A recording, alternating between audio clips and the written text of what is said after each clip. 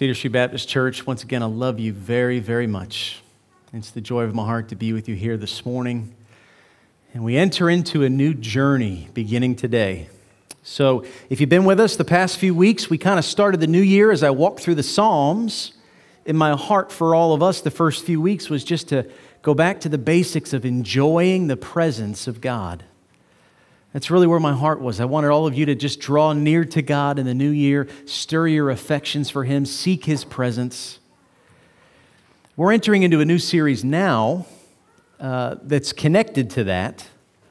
But as we talked about discipled minds and, and warm hearts, now we're going to be talking about those open hands, reaching out to other people. This sermon series that we're going to go through the next five weeks together is entitled Who's Your One? All right, and actually, as you saw in the promo video, it's an initiative of the North American Mission Board of the Southern Baptist Convention. That gentleman that you saw there on the screen, he's actually the president of the Southern Baptist Convention, and he's Dave Chambers' former pastor, Mr. J.D. Greear. And uh, he's doing a great job leading our convention. Now, here's the deal. If you have any friends in the Southern Baptist Convention that are going through this with their own church, I want to tell you that the sermons are unique. Okay, so I didn't get a package of five or six sermons to print from top to bottom. I'm preaching as God is leading.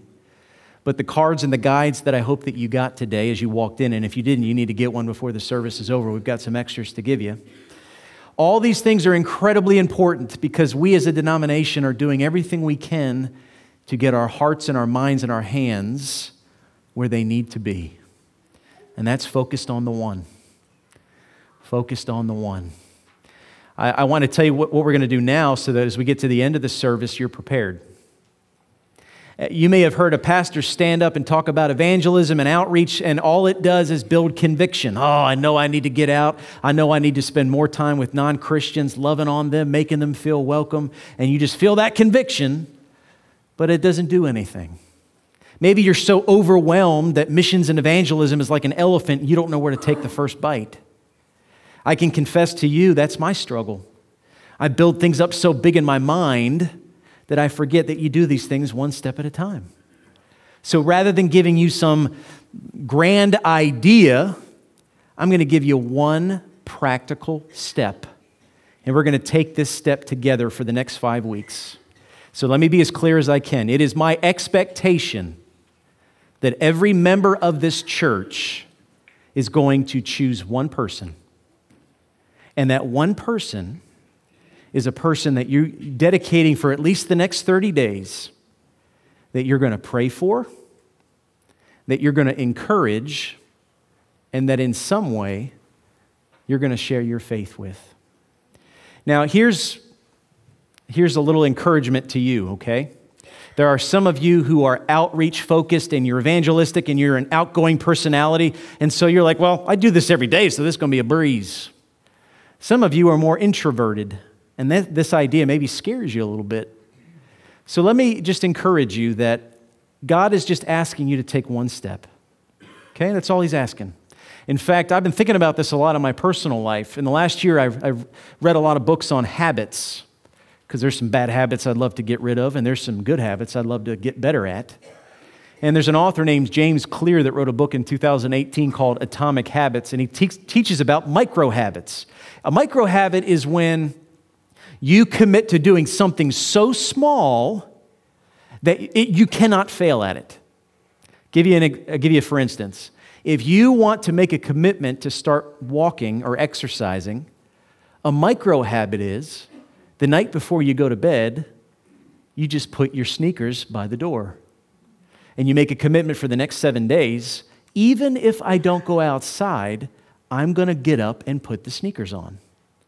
Now, there are some days you're so tired you may get up, put the sneakers on, and go back to bed. But chances are, as you take that step, that micro habit, you're like, well, my shoes are already on. Maybe I need to go outside. I think evangelism is the same way. So if you have never taken time out of your day to pray for someone that doesn't know Jesus, that's the easiest thing you can do. Five minutes, one person. If you don't know how, we gave you prayer guides. For 30 days, you take a verse of scripture, read it, and pray for that person. That's it.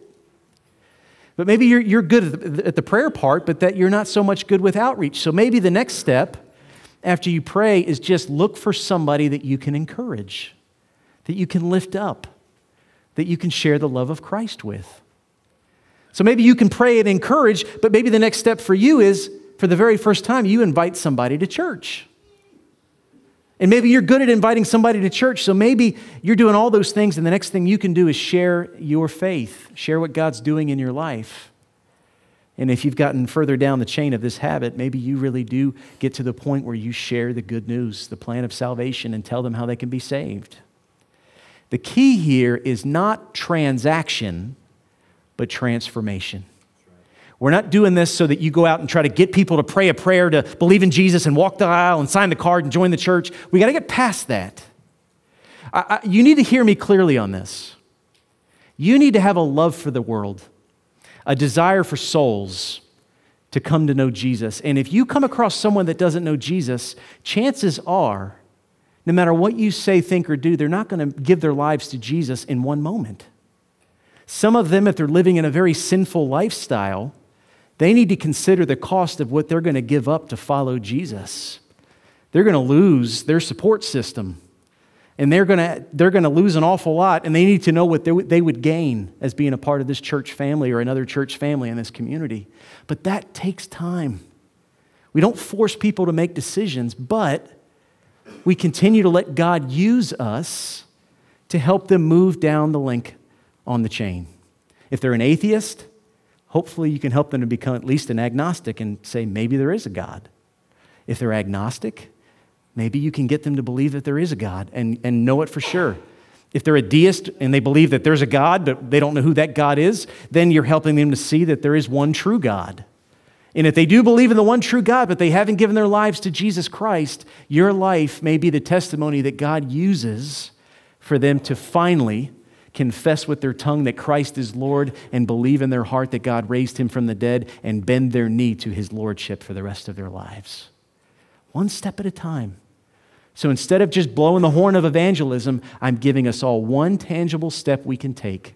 And at the end of our time together this morning, we're going to be writing that name of that one person, just their first name. We're not writing last names. You're not putting your name on the card. Uh, we're not paying attention to who's praying for who. You're just writing one first name on the card of who God is putting on your heart that you can pray for, that you can encourage, and that you can share your faith with.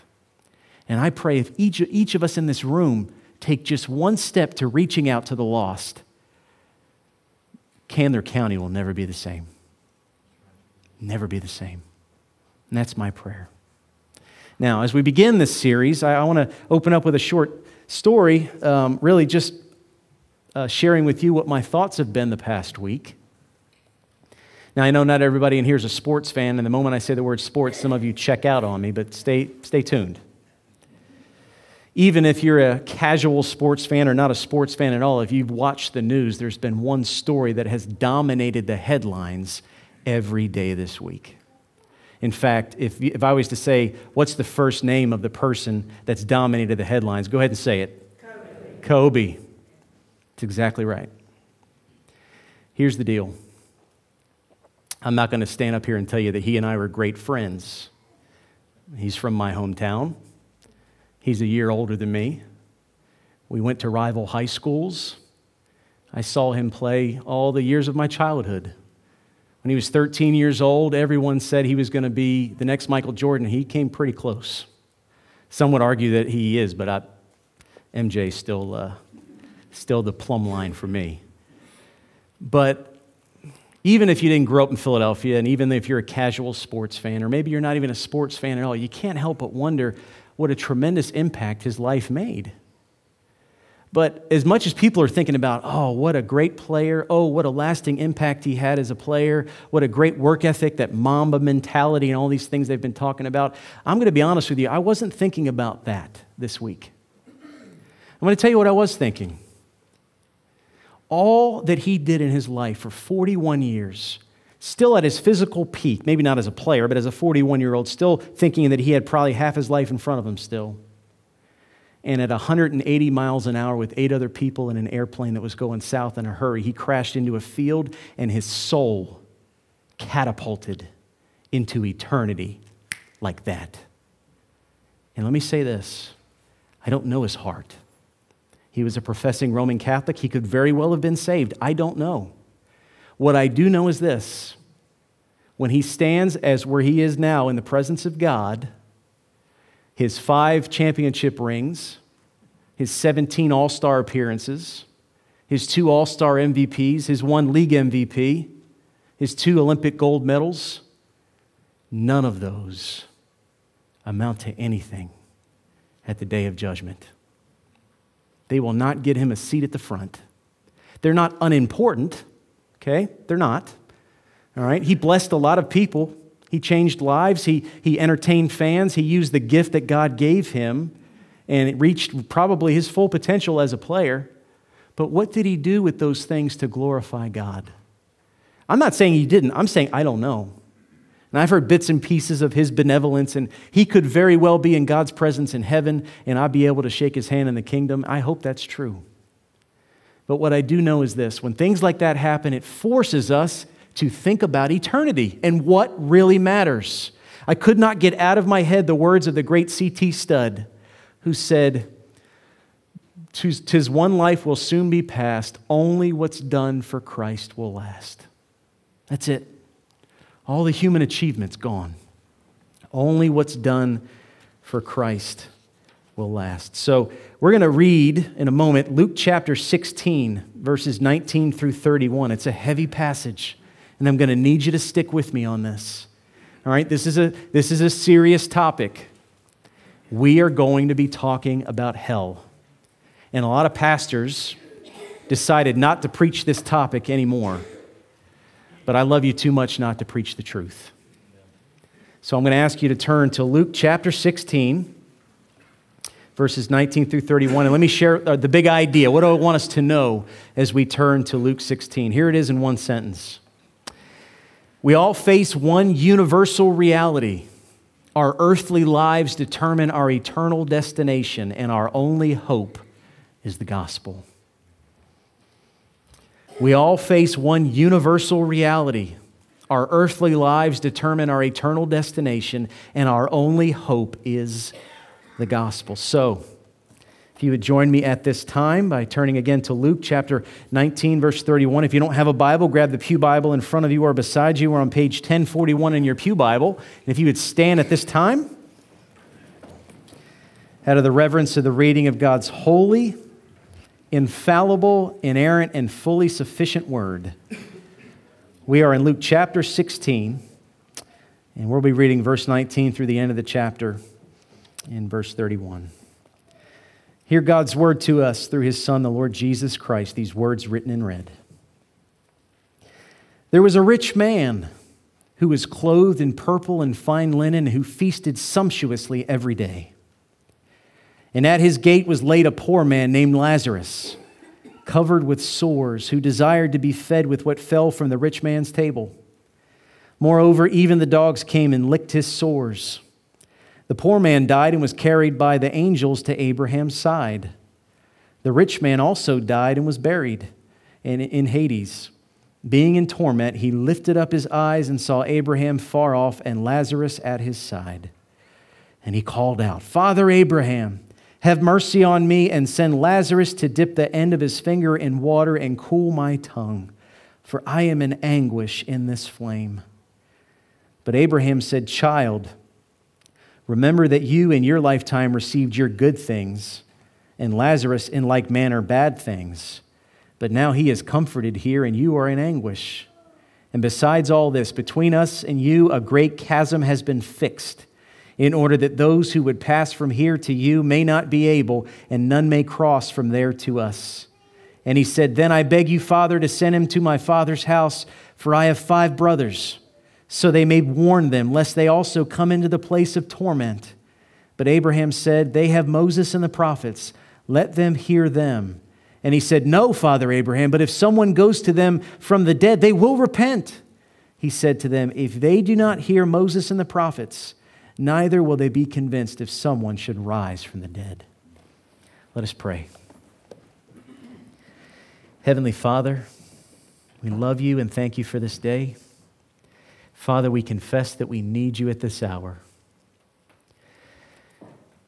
Father, I pray that every soul in this room would feel the true weight of this passage. And I pray that you help me as a pastor, as your instrument, to share these words in grace and truth. To share these words in grace that I don't know a person's soul and I can't determine who's in heaven and hell, only you can. But also in truth that heaven and hell are real places. And the only way we avoid one to go to the other is Jesus Christ. Would you be with us now and let us consider this one reality that all of us will face? I need your help, Lord, and I beg you to help us and help me. In Jesus' name, amen. amen. If you had to make a list of the favorite things that you want to preach, this probably wouldn't make the top five for me. But again, I'm not ashamed of it either. What I am ashamed of are churches and pastors that either have completely ignored this passage and others about hell, or there are some churches that make this what they preach every Sunday, and they're nothing but hellfire and brimstone. And let me just say this God is a God of love and holiness, and you can't separate one from the other. We need grace, but we need truth.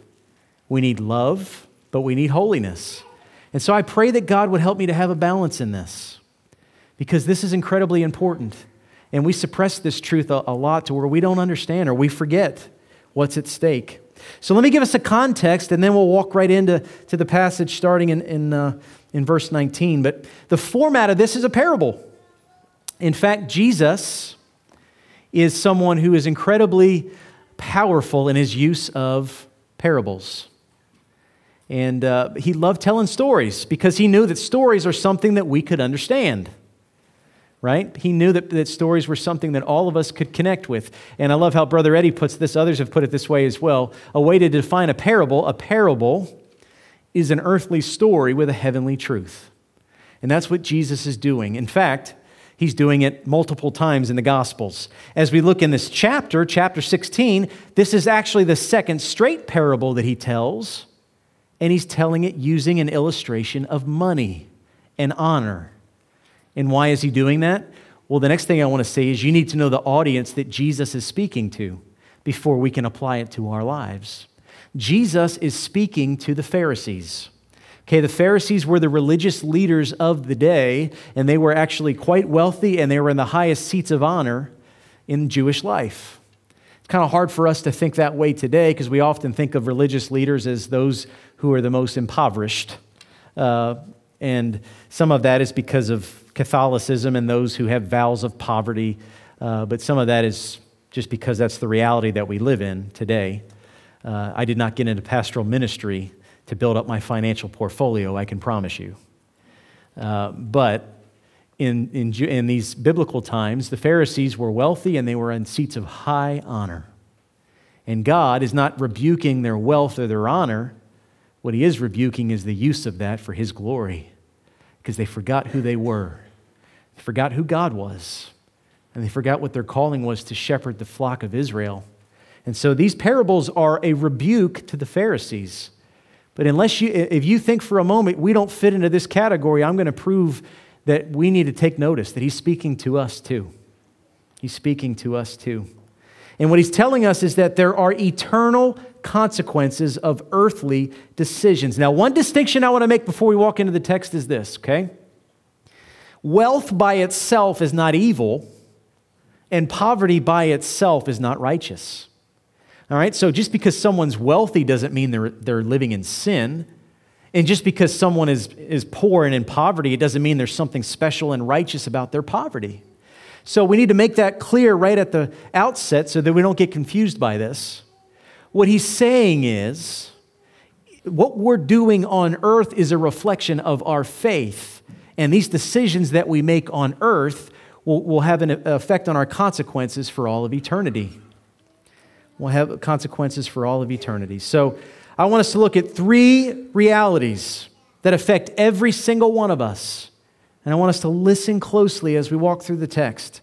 So, number one, I want us to look at our earthly reality okay, our earthly reality. All right? In verses 19 through 21, Jesus is highlighting a rich man who doesn't have a name and a poor man that does have a name, the name of Lazarus.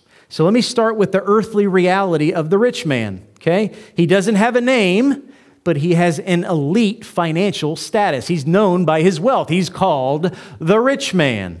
And, and Jesus is speaking to the Pharisees, not giving the rich man a name because he wants the Pharisees to finally see themselves in this man.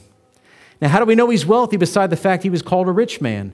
Well, he's clothed in purple and fine linen. Most of us know in the Bible that the, the color purple is for royalty. When Jesus was being mocked before he was put on the cross, they put a purple robe on him and a crown of thorns and, and hailed him King of the Jews sarcastically. All right, so that color of purple is royalty. But one of the reasons it is royalty is this it was incredibly expensive.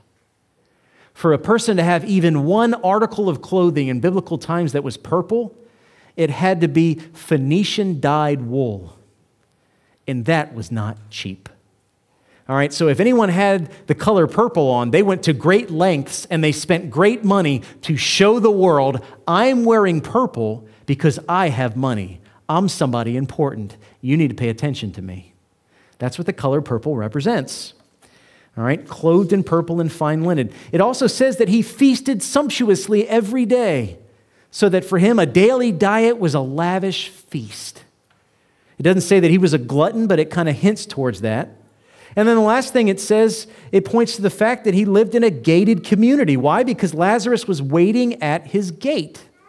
All right? It's not, again, not to say that there's something sinful about living in a gated community, but only the point, point, point, point one percent of the world lives in a community surrounded by a gate, unless, of course, you're in prison, but that's another story. Okay, this is a different type of gated community. All right? That's the rich man. That's his earthly reality. Now, let me talk about the earthly reality of Lazarus. All right? This is a poor man he actually has a first name. God gives him a first name in this story, partially because I believe Jesus wants the Pharisees to know no matter what condition a person's in, they have a human soul and they're worthy of dignity and respect, no matter who they are. So he has a name, and his name is Lazarus, and he's covered in sores. We don't know if he had a specific type of disease. We don't know exactly what the specifics are. We do know that his sores were debilitating.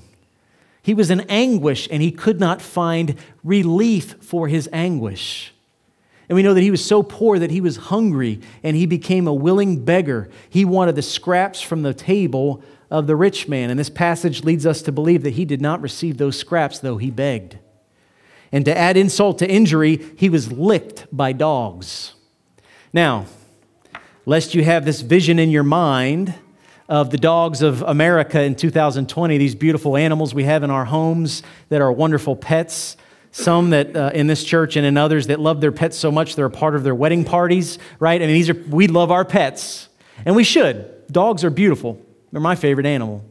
But the way that we perceive dogs today versus how the Jews perceived dogs in the Old Testament, completely different story.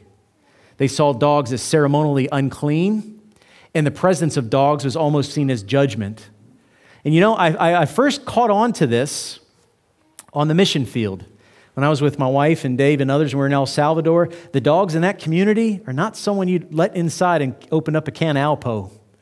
All right, they were all impoverished, they were skin and bones, and they all looked like dingoes. They had these really nasty look on their face, and so you did whatever you could to get away from the dogs of El Salvador because they were seen as unclean in that community. And I think that's pretty close to what it was in biblical times. So when it says that the man was licked by dogs, it wasn't a cute little puppy coming up and playing with him. It was an agitating dog that was, was, was making him hurt even more. And he's saying, Shoo, dog, shoo. And they're coming up and licking him, and they're just making him live in anguish and torture even more. All right, that's what's happening as he's being licked by the dogs. So let, let us apply this to ourselves. So you're, you're listening to this and you're saying, okay, Bo, I am not, I don't live in a gated community. Most of you probably don't. Some of you may. But and I'm also not so poor that I've got sores all over my body and dogs licking me all the time. So how does this fit with me? Well, let me stop for a moment and say this. Because I do know that we live in America in 2020. I want to say in this parable, I'm going to challenge everybody in this room to think of yourself as the rich man. You say, Well, I'm not a rich man, Bo. Which my response to you is this the median income Uh, of a household in southeast Georgia is probably somewhere in the low to mid 30s. And we're on the low end, I get that. We're not the wealthiest community on the planet. But I want you to think about this for just a second. Let's say, as a family, you make $35,000 or somewhere close to that. And you work for 35 or 40 years. When you die, you're going to stand before God and give an account of how you shepherded and managed over a million dollars. I don't know if you've ever thought about that. Okay, I don't know if you've ever thought about that. But that means that everyone in this room is going to stand before God a millionaire. You say, Well, I don't have a million dollars. If you live long enough, you will. You maybe not have it all at one time, but in the span of your life, you will, and you'll have to give an account for every penny. And God's going to say, You love me how did you use this money to glorify me? So, in that respect, now we can see how dangerously close all of us are to being the rich man in this parable. So, I believe our wealth will always reflect our faith. I think it reflects our faith in how we advance God's kingdom. All right, that's our understanding of the gospel of Christ. It reflects how we minister to other people. That reflects the love of Christ. And it also reflects our understanding about eternity. That reflects the judgment seat of Christ. See, because 2 Corinthians 5 tells us that we're going to be judged by everything that we've said and done in the body, not for salvation, okay? That's only by faith in Jesus Christ, but a judgment of works for rewards, for evaluating how genuine our faith is. So, in that respect, our money will say a lot about what is true of our faith. It will. It will always be true of, of our faith. So that's our earthly reality. Now I want to shift gears to eternity. Number two, I want to look at one eternal reality. In verses 22 through 26, now we see that the rich man and Lazarus have both died, and we, we find out a lot about what happens in eternity. The first thing I want to say as we look at point two is the eternal reality of a great chasm between us and God. I don't know if you know this, but you can't deny this reality even if you want to. Nobody is born in a relationship with God. No one. You're a child of Adam and Eve who sinned, and you're part of their lineage, and I'm part of their lineage, which means we are born separated from God. Nobody's born saved. Okay? There's nothing in Scripture that will say the day somebody was born, they were already a follower of Christ. That's why the Bible says you need to be born again. So nobody's born saved. You are born separated from God, and God loves you, and God desires for you to be adopted into His family. And He loves you so much that He sent His Son to die for the forgiveness of your sins, that you could come into His family and experience that love. But that only happens by faith. And once we die, we have no more ability to make any decisions that will affect our eternity. The moment we die, it's fixed. It's fixed. All right, so there's a chasm between us. And if Jesus Christ is not the one that closes that chasm, okay, if he doesn't close that chasm, we'll die in the same reality that we're living with that we're not aware of. And how does he do it? I need you to listen closely. Jesus is the only one that has a hand in the kingdom of God and also the hand in the earth reaching out to man so that God and man can be met together on the cross. This is why, by the way, all the other religions of the world can't cross that chasm. Jesus has to be both God, reaching down to man, and he has to be man, reaching up to God. And he's the only way to cross the chasm from eternal death in hell to eternal glory in heaven. Jesus Christ is the only way. And so we find out in this passage the, the reality of these two people. All right, so I want to start with the, uh, the poor man because he reverses the order here. The reality of the poor man. First of all, he dies, and it doesn't say anything about him being buried, which means he died in obscurity. Nobody knew that he died. There was no funeral, there was no tributes, there was no honor. He just died. But when he did die, the passage says that he was carried by angels to the bosom of Abraham. Now, what does Abraham's bosom represent? It represents what we call the temporary heaven or the intermediate state. And I'll tell you in a moment exactly what that is. But why do they say Abraham's bosom? Well, Abraham is the father of the Jewish faith. And they believe in the kingdom, as we do too, that there's going to be a feast. And in Jewish and in biblical times, the Jews would recline at the table and lean into each other. So being by Abraham's bosom meant you had a prominent seat at this banquet feast. But to make it clean, uh, plain and clear, this is heaven. And a lot of people don't know this, but you need to hear me. When someone who's a Christian today dies, and it says to be absent with the bodies, to be present with the Lord, they're in paradise, but that heaven is not the eternal heaven. That's a temporary place of paradise, but they won't fully know heaven until they're on this side, all right, until they get a new body and heaven and earth collide. So Abraham or Lazarus is at Abraham's bosom and he's in the kingdom and he's in joy. All right, it says that um, basically that he's no longer in anguish. All right, he is um, receiving comfort, carried by angels on the side of chasm that's the side of God. Now, let me flip the script and talk about the rich man. It does say in the passage that the rich man was buried. What does that mean? He probably had a huge funeral. He had a three hour viewing. He had all the best food at the reception. He had all the best preachers at the service. Probably had three different pastors all up here like dueling banjos talking about how great he was. But guess what? What happened right after the tomb was closed? He went to the bad place, not the good one. The place that we pretend doesn't really exist. The place that we say a loving God would never send anybody. But I want to stop and say this for just a moment. If you're one of those people that say, How could a loving God send anyone to hell? I would say this. If you don't believe that's true, then why do we have a cross? When you look at that cross, that's the holiness and love of God that met in one place. If God was not holy, we wouldn't need a Savior. And if God wasn't loving, He never would have sent His Son to be our Savior. He is holy, and we need to be saved of our sins. And He is loving, and He did send His Son to die for us as the only way that we can cross that chasm and be with Him forever. The cross is where the holiness and love of God meet together.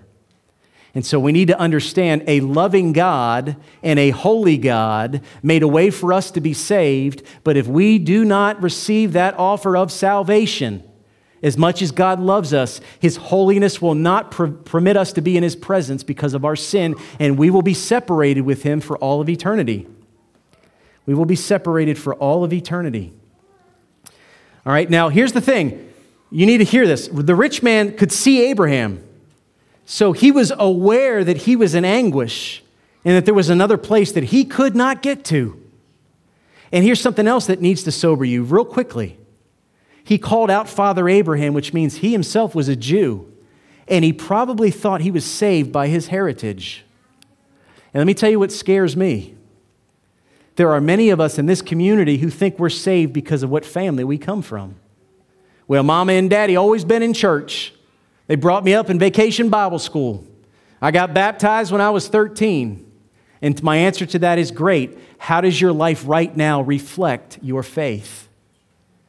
I don't care what you did in a moment. Anybody can do that in a moment. Now, there are some people that are genuinely saved at 13, and genuinely their baptism is a genuine reflection of a genuine faith. But for many of us, we lean on these decisions. We lean on the faith of our family. And guess what? When you stand before God, your family won't be there. And so, this rich man, he's aware that he's in a place that he can't get out of. This is eternity, and he's in torment. He's saying, I just wish that the end of my tongue was cooled by a dip of water. So, this place that he calls Hades, this is the temporary hell that souls that don't know Jesus are in right now. It's not the permanent hell because the final judgment hasn't come yet, but it's a place of separation from God where they're aware of their need for salvation. And he's aware that he can't cross this chasm. And here's the deal even in hell, he's still not repenting of his sins. Still. You know what he says, Father Abraham? Let you tell Lazarus to come here and serve me. Tell him to dip his finger and come touch my tongue. He's still treating Lazarus like a second class human being in hell. You know, maybe you have this picture of hell as people are in torment and they're crying out, God, I'm so sorry, I'm so sorry, please forgive me. That is not what hell is. There will be no repentance in hell. There will be no confession of sin in hell. You know what there will be in hell? It's the Bible says weeping and gnashing of teeth. You know what that is? That's God, how dare you? How dare you? I curse you. That is what hell is going to be. Not, oh God, I'm so sorry. Please forgive me. Please forgive me. Please forgive me. That will not happen in hell. Souls that are eternally separated from God will turn inward and the pride they had on earth will just get bigger and bigger and bigger, and their anger towards a holy God will get greater and greater and greater. And that's what's happening with the rich man. He's looking and saying, Father Abraham, you do this, send him here, send him to do this. And they speak very clearly. Abraham said, Child, remember that in your lifetime you received your good things, and Lazarus in like manner bad things, but now he's comforted and you are in anguish. And then he drops the bomb on him here in verse 26. And beside all this, between us and you, a great chasm has been fixed in order that those who would pass from here to you may not be able, and none may cross from there to us. So he's aware that he cannot make any more changes. His, the decision about his soul for all of eternity has already been fixed. The Bible does not teach reincarnation. The Bible does not teach what Catholics believe, purgatory, that you can work off all the sin before you get into heaven. No, the Bible says in Hebrews, it is appointed for every man to live once, and then comes judgment. This is the only chance we get, and it's over in the blink of an eye. So that's the reality for all of us. We are unceasing spiritual beings with an eternal destiny. We're going to go to one place or the other and it won't be because of our good works. However, if we are truly Christian, our works will be a result of our faith, our desire to reach out to other people, our sacrifice of time and money and gifts and efforts for other people will be evidence that we truly do love Christ. Jesus says, He who has my commandments and obeys them, he it is who loves me. And he who loves me will be loved by my Father, and I will love him and manifest myself to him. John 14, 21. Obedience reveals our heart. And these decisions will seal our fate. And that's why Jesus is our only hope. So let me move on to our third point here. We've talked about one earthly reality, one eternal reality. Finally, I want us to look at one evangelistic reality. In verses 27 through 31, what happens is the rich man is saying, all right, if, if I can't fix my reality, if I'm stuck in hell forever, can you at least send someone to go tell my brothers that they don't come and they don't face the same judgment that I'm facing right now? Warn them. I don't want them to be tormented the way that I'm tormented. He had a concern for their eternity, and he had a concern that they would have hope. But the response to him is this it's good that you have a concern for human souls, and it's good that you want them to have hope. But the, the, the, offer for them to have hope is the same offer that you received, that you rejected. Here's what it says. Listen very closely. It says, They have Moses and the prophets. Let them hear them. Translation They have the Bible, they have the scriptures. Let them listen to the word of God. And if they won't listen to the word of God, they are not going to pay attention if somebody comes back from the dead to tell them to repent. And then Jesus drops this bomb in the very end of the parable. If they do not hear Moses and the prophets, neither will they be convinced if someone should rise from the dead. Who rose from the dead? And who did not believe him? The Pharisees who were listening to this parable. He's saying, if you, are, if you won't pay attention to the scriptures, then if someone even rose from the dead, you still wouldn't believe. And the Pharisees would say, Well, no, I believe the scriptures. I'm a Pharisee. I teach the scriptures. And Jesus is saying, If you knew the scriptures, then you would know me because the scriptures testify about me. In Luke 24, and they're walking on the road to Emmaus, it says he interpreted to those men all the scriptures from Moses and the prophets, all the things concerning him. The whole Bible's about Jesus, and there are some of the Jews that got it, and there are some of the Jews that didn't get it. And he's saying, even if I rise from the dead, you already had everything you need in the Word of God. And I say that to everybody in this room today. There are some people waiting for God to give them a sign. Now, I want to confess this as we get near to an end here. When I was, I got, most of you know my testimony, I got saved at 26 years old. I was raised in a Catholic home, didn't know the Lord. I believed in a God and I believed in Jesus, but he was certainly not my Lord and Savior. And the year that I came to faith, I remember over and over praying that God would show me a sign. And you know what? In my ignorance, there were things that he did. There were. I remember the one time I was crying, I think I shared this story before. I was crying out about a boss that I had that was so awful to me. And I said, I wish you could see how hard I work. And I was in a traffic jam and I slammed the brakes on, and the car right in front of me had a license plate that said, God sees. But you know what? Guess what happened a day after that? God show me another sign. That sign wasn't good enough. God, show me something different. I'm really insecure today, God. You know, I, I, I, I, believe that maybe that was you, but I'm not quite sure. I need some more proof. I need this, I need this, I need this. If you are trusting in signs for if God is real or hell and heaven are real, no sign will ever be enough. This is what God has given us it is His Word. And I was 27 years old before I believed that that was the Word of God. And what, what uh, Jesus is saying in this parable is this, the word, and specifically the gospel, the message of the word, that is enough. And those who will put their faith in Christ when they hear the word, they'll be saved. And those who reject the gospel and are not saved, they wouldn't be saved if Jesus rose from the dead and told them himself. So, what he says to the Pharisees in the parable, I'm saying it to all of us right now. We already have enough. We've got all the hope that we need to take out of the walls of this church to the community that needs to hear the gospel of Jesus Christ. That's my summary statement here. To sum it all up, I'd say facing the one reality that everyone needs Christ must move us to share our faith with at least one person. Facing the one reality that everyone needs Christ must move us to share our faith with at least one person. All right, again, this is not a guilt trip, this is a heart check. Do you believe what Jesus said in that parable? Do you believe that heaven and hell are real places? Do you believe that none of us can get to heaven on good works? Right now, there are people who volunteered at the American Red Cross and Habitat for Humanity and fed the hungry every week for 50 years that are not in heaven. And there are also mass murderers who came to faith in Christ in their jail cell, and they're in, in glory right now. Because it's the work of Christ for the forgiveness of our sins that gives us eternal life. Now, if you believe this, that heaven and hell are real, and you don't want anybody to go there, instead of just having that conviction and that guilt and then going to lunch and forgetting about it, the, remember the challenge is taking just one step. Just one.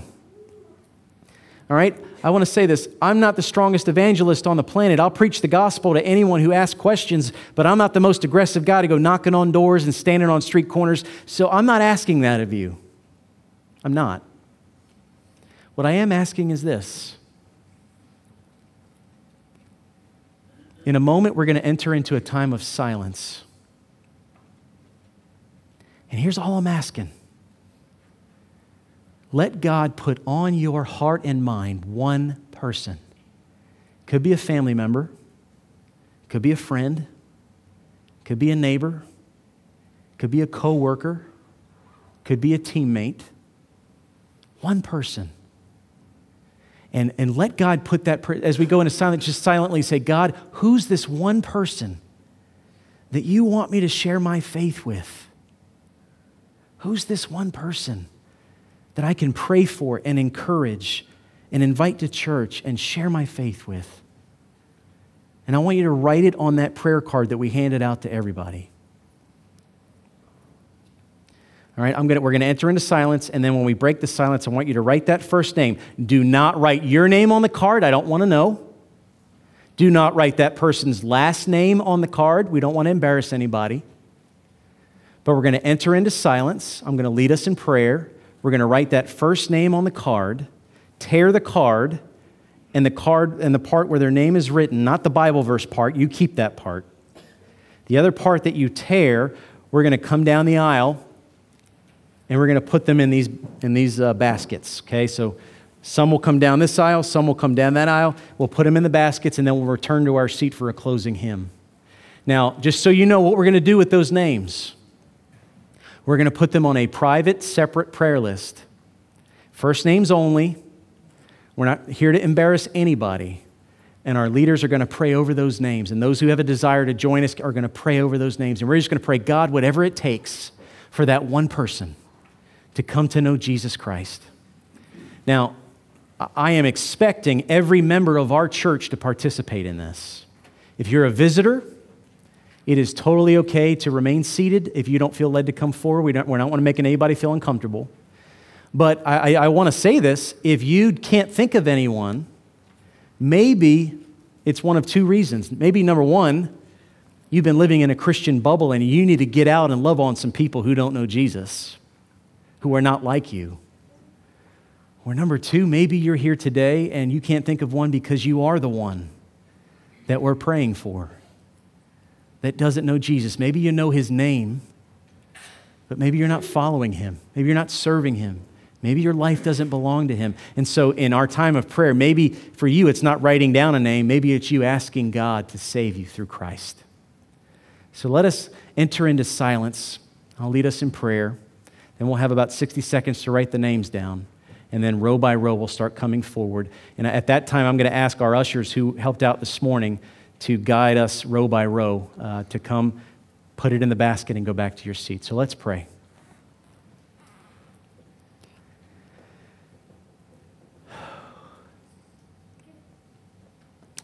Lord, you know our church's desire for evangelism and missions, and, and yet we, we bang the, we blow the horn of missions and bang the pulpit and talk about reaching out to the lost and sharing our faith with those who don't know the Lord and, and, and loving on others that don't agree with us and don't live the type of life that we live, to love them and reach out to them, Lord. And yet at the same time, it's so intimidating we don't know where to take the first step.